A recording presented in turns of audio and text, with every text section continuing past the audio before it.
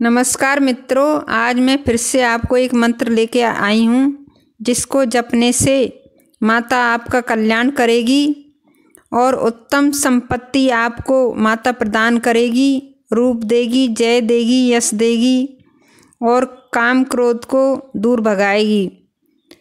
इस मंत्र को ध्यान से सुने और मंत्र इस प्रकार है, विदेही दुष्यताम नासम, विदेही बल मुच्चकई रूपम देही जयम देही, यशो देही, दिशो जही।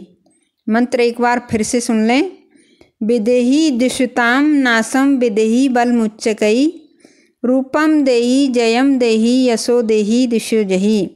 इसका अर्थ है, हे माता, मेरा तुम कल्याण करो और मुझे उत्तम संपत्ति प्रदान करो।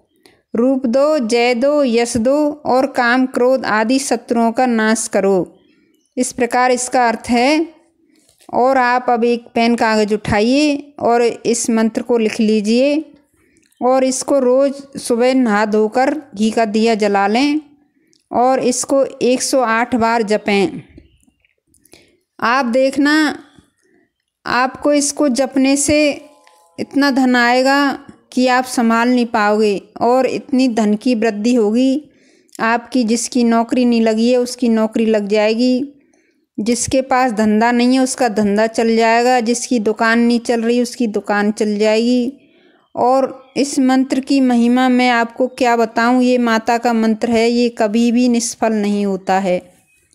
एक बात का ध्यान रखें, जब भी आप मंत्र जपें, एक माता लक्ष्मी की तस्वीर ज़रूर लगा लें।